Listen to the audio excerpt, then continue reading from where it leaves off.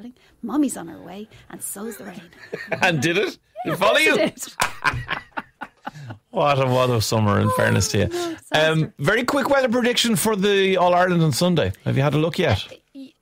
No, because I'm not back from my holidays. I'm Right. back, in work tomorrow, but um, I believe it should be okay. Okay. I think we should be all right again. Yeah, it, it, it looks like we're entering something of a summery feeling.